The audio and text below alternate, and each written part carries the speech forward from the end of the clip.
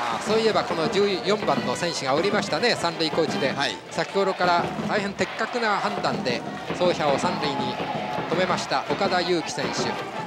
左投げ左打ちです。こうやって見ると本当に左が多いですね一律柏は。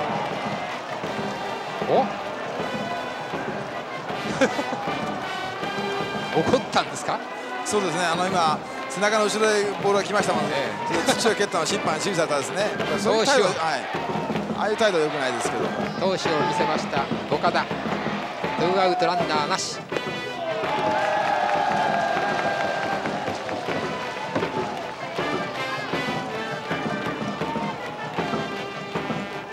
ピッチャーゴロ。高橋グラブ弾かれた。尾藤が全身取ってサイドハンド。一塁送球全力疾走だが間に合わずこの瞬間に拓大広陵2年ぶり3回目の甲子園出場なる。